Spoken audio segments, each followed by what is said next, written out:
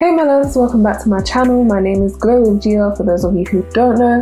I'm a full-time digital marketer and in today's video I'm going to be showing you guys how you can connect your domain and private email to your GetResponse. Now, for those of you who are completely new to this, a domain isn't 100% necessary because most of these platforms like GetResponse will actually provide their own. GetResponse, for example, has their own domain which ends in .great. So if you had a free keto diet, it would be like free keto diet.great. Obviously, it's not a terrible thing, but it definitely does help if your landing page ends in .com. It just makes it look a lot more professional. The private email, on the other hand, is absolutely necessary. Now, for those of you who don't know, GET response will automatically connect like the sender's email as your email that you signed up with. So it might be, I don't know, for me, it's like glowgia at gmail.com. Now, that's not ideal. Now, the problem with this is that if you try and send out any newsletters or emails through GetResponse that are connected to your actual email and you are the sender and your Gmail or Yahoo, whatever it is that you're using, is the sender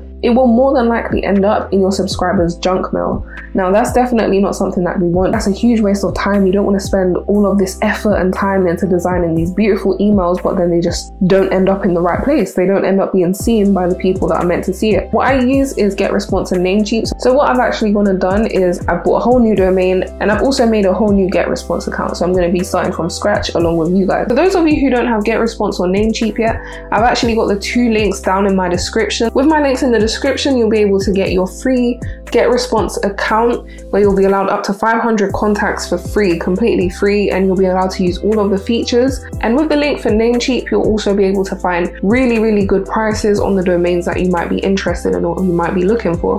So yeah, make sure you go ahead and check those two links down in my description.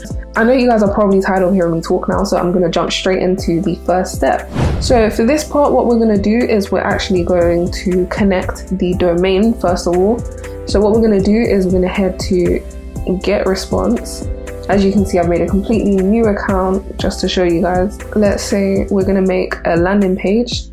You guys are probably already going to have your landing pages pre-made. So yeah, I'm just going to make a quick template. Um, I'm not even going to edit it. This one's just going to be literally like a little tester landing page so you guys can see. If you guys haven't made your landing pages yet, I'm going to leave a link down in the description for my Fiverr. I actually design custom landing pages for whatever niche you may need. So yeah, head down in the description. There's a little link that says Glow Geo Fiverr and you can go ahead and shoot me a message on Fiverr. I'll be sure to respond within a couple hours at most. Just going to make a quick change we'll go into the next step. So let's just imagine that was a pre-made landing page for whatever it is that you're doing. So like I said earlier, as you can see, the GetResponse subdomain that they give you is gr8.com. So obviously you can get subscribe me now, getresponsepages.com. That doesn't look great. I'm gonna go ahead and add the new domain. So what we're gonna do, um, as you can see on Namecheap, I've actually created one called glowgeo.shop.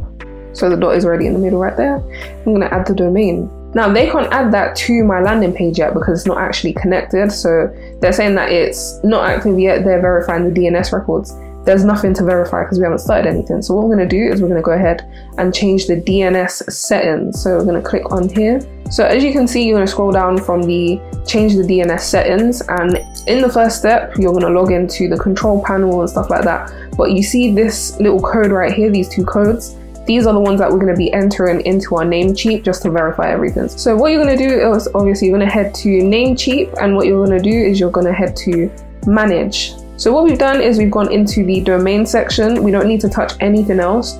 As you can see, this is the name server. So you're going to scroll all the way down until you see name server. They've basically put in the Namecheap basic DNS. So what we're going to do is we're going to head down to custom DNS. And as you can see, there's these two slots where you're going to go ahead and copy and paste the codes.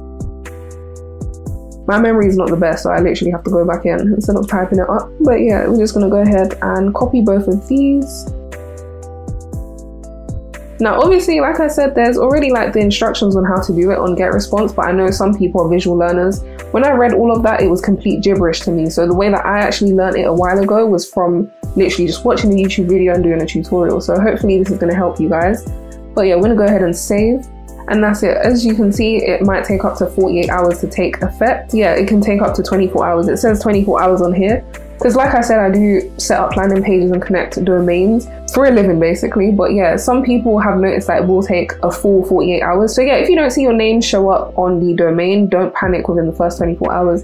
Sometimes it will take a little bit longer. So yeah, give it 48 hours instead of 24 like GetResponse says. So yeah, we've gone and finished that. All we have to do is click save. Now, for those of you who only came here to see how to set up the domain, I hope you guys enjoyed the video so far. You can go ahead and click off. If you want to continue watching, that'd be great as well. Um, but for those of you who came here on how to set up the private email, we're going to go ahead and go through that now. So, so yeah, now that we're on Namecheap, what we're going to do is we're going to go down into the private email. So we're going to click on manage because we haven't actually set up any mailboxes. So what we're going to do is we're going to go ahead and create a mailbox now. You can see the little yellow tab. I'm going to go ahead and click that. And my one is going to be called contact at glowwithgio.shop. So anytime I send out an email, the email is going to be contact at glowwithgio.shop. If you want to change it to support at glowwithgio.shop or whatever it is, those are the two words that I normally put at the front. So it looks a lot more professional. That's what I've noticed a lot of businesses do. So it's just going to say contact at glowwithgio.shop. I'm going to set my password. Obviously, I'm not going to tell you guys what that is. And yeah, perfect. So we're going to save changes and our mailbox is now set up. So what we're going to do is we're going to open the webmail. So I'm going to open it in a new tab. The site that is connected to is private email for those of you who might not be able to remember. So yeah. So yeah, we're just logging into our private email now.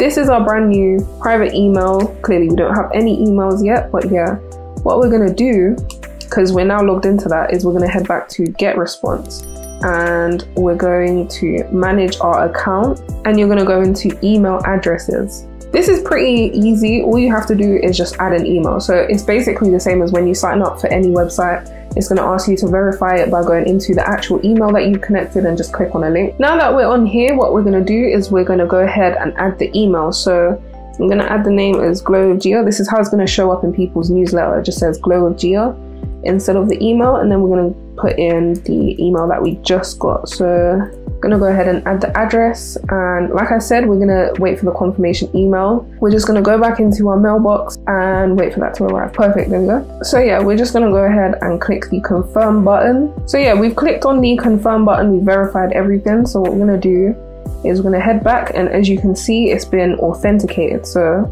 we're gonna set this as our default email.